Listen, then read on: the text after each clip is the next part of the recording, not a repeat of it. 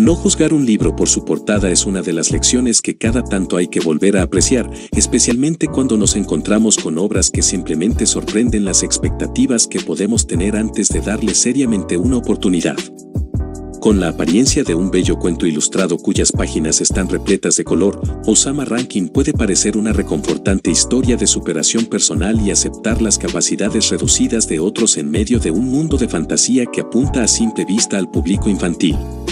Sin embargo, el que sea para toda la familia no lo hace una obra meramente infantil. Que pese a ofrecer la historia de superación y crecimiento que uno espera a simple vista con un constante espíritu idealista que cree en que todos podrían encontrar una forma de redención, igual no duda de tocar algunos de los horrores y temas difíciles que se presentan en su mundo de magia, espadas y seres humanos con ambiciones en conflicto. La sinopsis de este anime es la siguiente, la gente del próspero reino se burla del joven príncipe Boiji, hijo de poderosos gigantes que no solo carece de la fuerza y estatura de estos, sino que es incapaz de hablar o escuchar con normalidad. Llamado por otros como un príncipe inútil, él no se rinde en sus esfuerzos de crecer para ser un digno rey en un futuro, soportando con una sonrisa el como otras personas lo tratan con condescendencia. Sin embargo, cuando el príncipe se hace amigo de Kai, un sobreviviente de un clan de asesinos, que encuentra un confidente que le ayude a comenzar un viaje que marcará su vida al presentarle la oportunidad de conquistar sus miedos, superar sus inseguridades y comprendiendo sus debilidades para encontrar sus fortalezas que desde siempre lo han hecho alguien digno de seguir.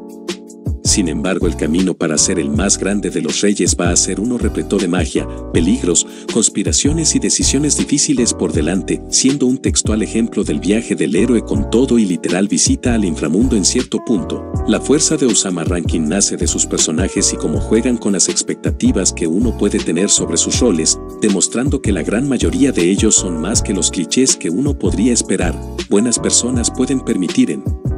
Inacción o perdón el existir del mal y personas malas podría hacer el bien dada la oportunidad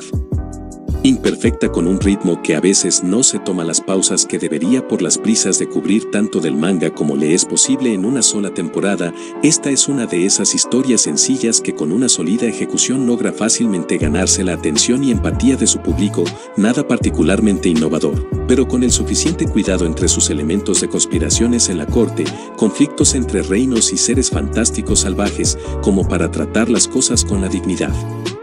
necesaria sus temas de superación personal pese a desventajas y capacidades diferentes.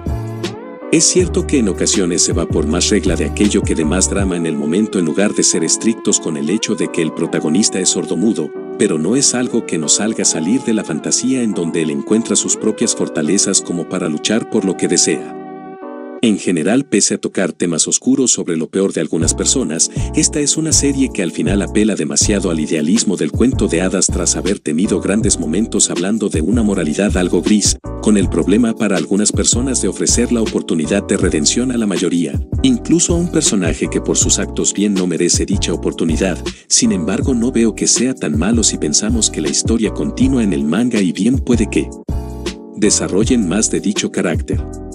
El apartado visual es uno de los puntos fuertes de este espectáculo desde el primer minuto, que no bromeo con que se ve como si fuera un libro de cuentos bellamente ilustrado en un intento no solo de seguir el dibujo presente en el manga del que se basa, sino que aprovecha su sensibilidad y asociación con los elementos de fantasía en esta historia repleta de magia, monstruos, dioses y guerreros.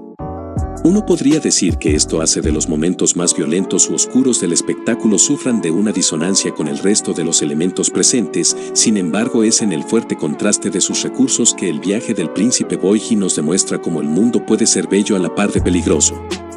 Con un mensaje sobre ver más allá de las apariencias y como todo tiene capas, el juego estético da oportunidad a usos de colores, movimientos y efectos especiales que hagan todo un espectáculo para los sentidos. Y hablando de sentidos, la banda sonora es otro de los aspectos que se deja disfrutar en esta experiencia. Cuerdas, percusión, viento y metal, tenemos una variedad de instrumentos que si bien no se roban el interés del público, cumplen perfectamente a la hora de crear una atmósfera de aventura, magia y fantasía digno de este cuento de crecimiento personal. Series perfectas no existen, eso es algo que todos tenemos que recordar. Sin embargo, para lo que se propone, Osama Rankin es una serie que se acerca bastante para hacer un cuento que se atreve a hablar de todo siendo así uno de los raros animes que bien puedo recomendar ver en familia.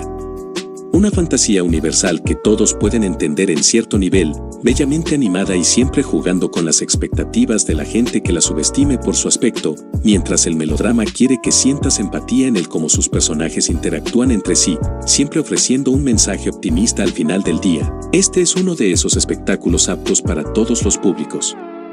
Si tienen el tiempo, denle una oportunidad que maravilla o regular fantasía, su apuesta a intentar algo que se pueda ver desde diferentes perspectivas con sus temas de idealismo, moralidad y cómo éstas entran en conflicto con el deber y la responsabilidad, mínimo dan algo en que pensar con este cuento de hadas.